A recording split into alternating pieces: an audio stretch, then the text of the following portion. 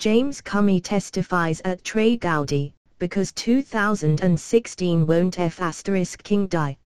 Let's save some time with this executive summary of the House Judiciary and Oversight Committee's 11th interview of James Comey on Friday.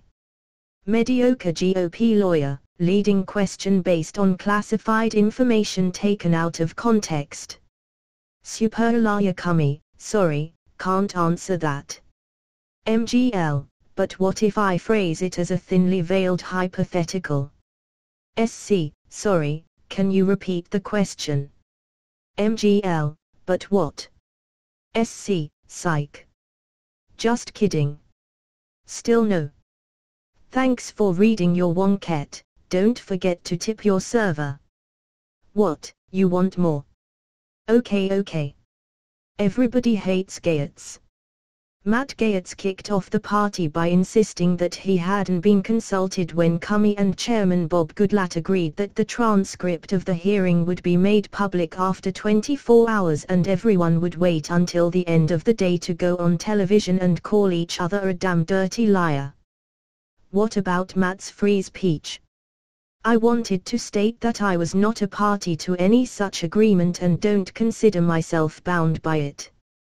I also don't know of any provision in the Constitution, the rules of the House, or any federal law that would prohibit members of the committee from engaging in free speech, debate, and opining at any time. Then Reps. Trey Gowdy, Goodlatte and Jerry Nadler took turns kicking Matt Gaetz in the dick. And they say bipartisanship is dead. Trey Gowdy, still massive tool. Is Trey Gowdy noping out of Congress so he can go stalk Hillary Clinton in Chappaqua with that nutbag Pirro? That guy spends more time thinking about Hillary Clinton than Hillary Clinton does.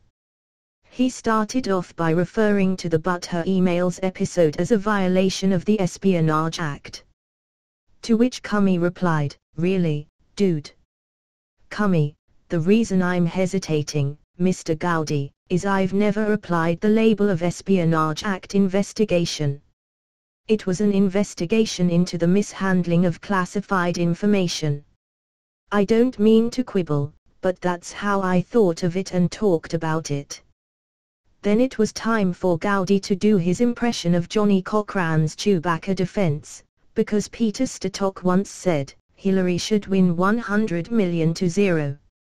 Gowdy, in the course of human history, has anyone won an election 100 million to zero, to your knowledge? Comey, in the United States. Gowdy, anywhere. Comey, I don't mean to be facetious. I can't speak to Stalin's re-election or Mao Tse-tung re-election campaigns. In Gowdy, 100 million to zero is a lot.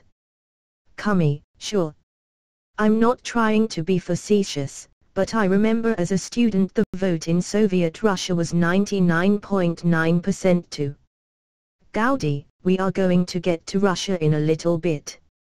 We'll get to Russia in a little bit. Comey, so in the I can answer your question, Mr. Gaudi. In the United States, I'm not aware of any such lopsided vote. Why would a Wookiee want